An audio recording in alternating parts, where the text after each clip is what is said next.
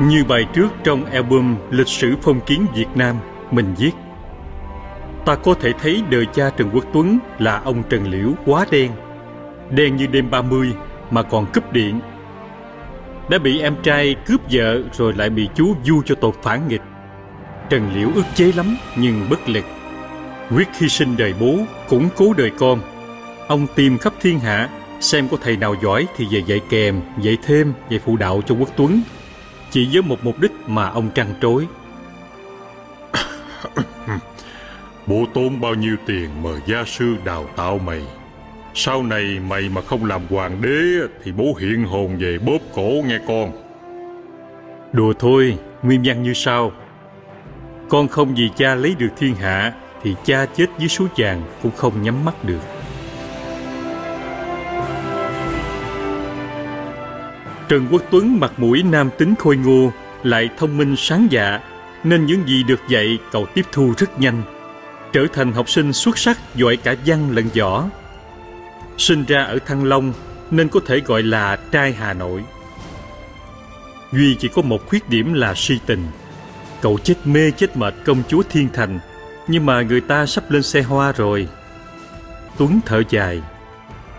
Nếu biết rằng em sắp lấy chồng anh về sẽ luyện lại võ công Tập cho thành thạo liên hoàn cước Để đá chồng em đêm động phòng.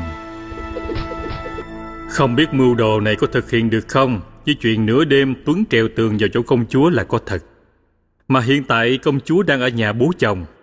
Mai là đám hỏi rồi. Mẹ nuôi của Tuấn biết chuyện liền ôm đầu gào lên.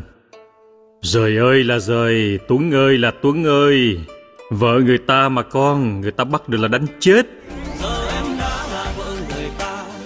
Bà cũng đến bó tay với cha con nhà này Sống hết mình vì tình dễ sợ.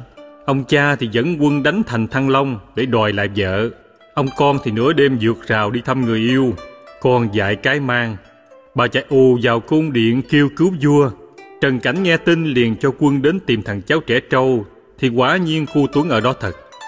Sáng hôm sau, mẹ nuôi quốc Tuấn đem 10 mâm vàng đến xin vua cho con mình lấy vợ. Trần Cảnh hết cách đành phải đồng ý.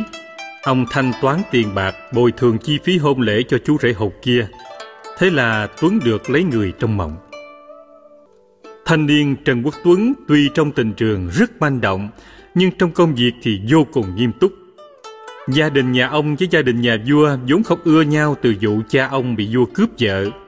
Ông không hề ưa hoàng tử Trần Quang Khải.